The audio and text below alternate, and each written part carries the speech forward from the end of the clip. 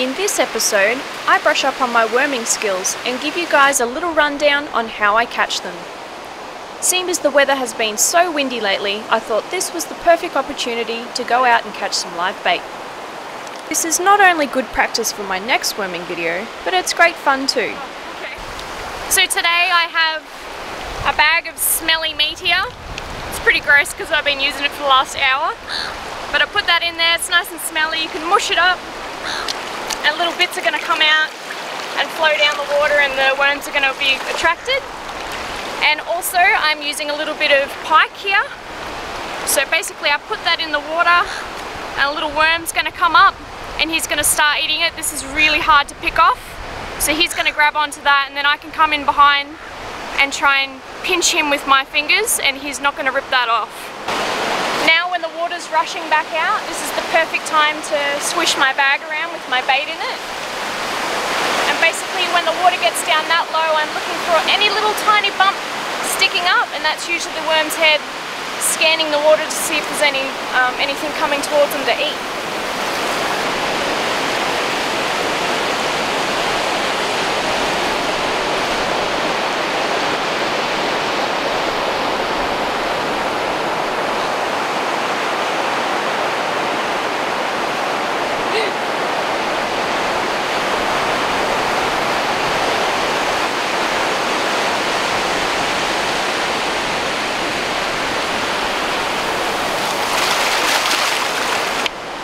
You got that on camera, but they kind of come up and start eating, and then as soon as they start arching their head, that's when they're just gonna like rip down and like pull a piece of meat off. So basically you've got to get them in that motion where they're kind of like that and you can get your fingers around the head and slowly grip onto it nice and tight and they don't really feel it just before they start ripping down. There's a few different ways to grab the worm's head, and I obviously don't have the grip strength in my fingers to grab him like this. Oh, I slipped through my fingers.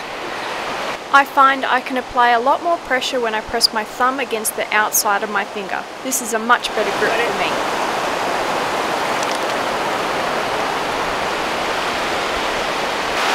So basically this is how I grab them around the head.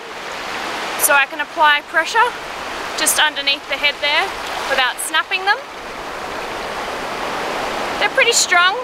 You have to have a good grip but not too much that they're going to snap their heads. So this is a pretty small guy but he's perfect whiting bait.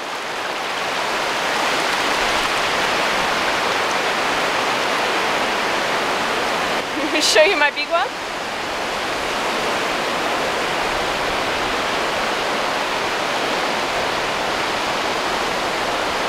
Still alive. This is the bigger one I caught earlier. The rest of him in half. As you can see they get quite big. So the tide's starting to come back in now. We were here at low tide which was perfect because the worms seemed to be down further in the wash. As soon as the tide starts coming in you've got a lot more water coming up and it's a lot harder to find the worms and if you do find one it's usually at that point where the waves are just going to keep coming in and you'll just have, you know, a foot, a foot worth of water over the top of the worm and I find it really hard to catch them when there's water over the top. I like it much better when you've just got a little skim of water and you've got a, you can actually see the worm a lot better and have contact with him. So that's the end of this episode today on worming guys. I hope you enjoyed it.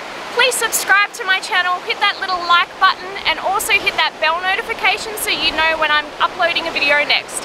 Cheers guys, see you later!